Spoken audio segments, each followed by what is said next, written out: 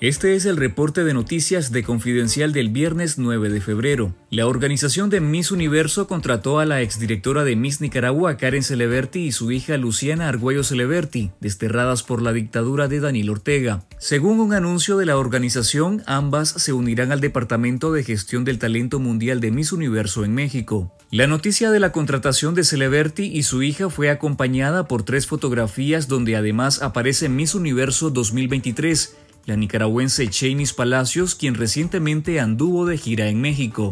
La persecución por parte de la dictadura contra Celeberti y su familia inició después que miles de nicaragüenses se volcaron a las calles del país, enarbolando la bandera azul y blanco celebrando el triunfo de Chainis Palacios en el certamen de belleza más importante del mundo.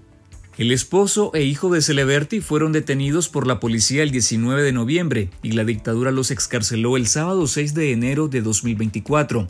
Ambos salieron del país rumbo a México para encontrarse con Karen Celeberti.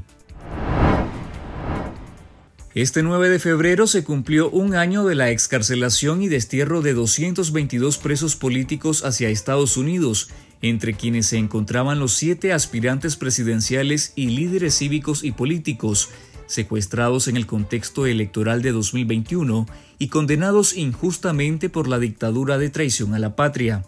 El régimen los despojó a todos de su nacionalidad de forma arbitraria y express. La excarcelación y destierro de los 222 fue realizada bajo una inédita operación diplomática sin precedentes para la Casa Blanca. Estados Unidos reveló que la operación estuvo llena de tensiones, incertidumbre y alegrías, entre el miedo de que la dictadura abortara la sigilosa excarcelación y la esperanza de los prisioneros que llevaban más de año y medio en la cárcel y otros más de tres. A un año de esa liberación agridulce, los desterrados siguen buscando su camino en un país que es completamente ajeno para muchos de ellos. Entre las dificultades que enfrentan por el idioma, la necesidad de encontrar trabajo, conseguir un domicilio y lograr pagar la renta, aprender a trasladarse, a reinventarse y poder alimentarse, y en medio de todo, atender las secuelas físicas y mentales tras meses y años en la cárcel. En Confidencial.digital te invitamos a leer una entrega especial que recoge los testimonios de los excarcelados políticos que ahora viven en libertad en el destierro.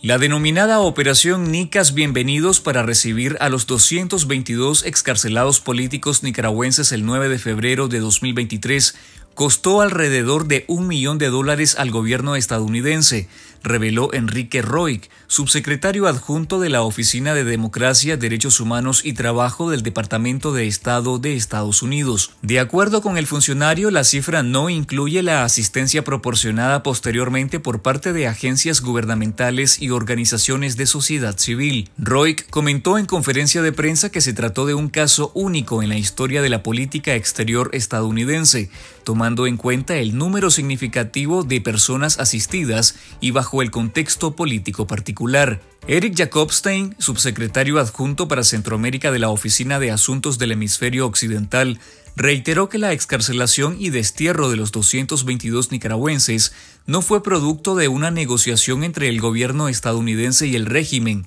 sino que fue una decisión unilateral de la administración sandinista, a la cual Estados Unidos respondió de inmediato. El Departamento de Estado colaboró también con una empresa y organizaciones de la diáspora nicaragüense para asegurar vivienda temporal a aquellos que no tienen familiares ni amigos en Estados Unidos. También facilitó viajes a diferentes ciudades del país para una gran parte del grupo.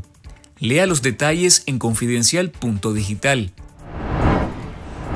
El expresidente panameño Ricardo Martinelli, condenado en su país por corrupción y lavado de dinero, se apoderó de la Embajada de Nicaragua en Panamá donde Daniel Ortega le otorgó refugio y asilo político. El exmandatario ha transformado la sede diplomática pinolera en un pequeño hotel de lujo, a la espera de que el gobierno de Panamá decida si le otorga o no un salvoconducto para irse a Nicaragua. Desde la tarde del miércoles 7 de febrero no han parado de llegar camionetas y camiones cargados con mercancía y electrodomésticos, y también la mascota del expresidente. Martinelli fue condenado en su país con sentencia firme a más de 10 años de prisión y al pago de una multa de más de 19 millones de dólares por el delito de lavado de dinero. Es el tercer exmandatario centroamericano perseguido por corrupción en su país a quien Daniel Ortega le otorgó asilo político. Los otros expresidentes requeridos por la justicia son los salvadoreños Mauricio Funes y Salvador Sánchez Serén, ambos nacionalizados por la dictadura nicaragüense.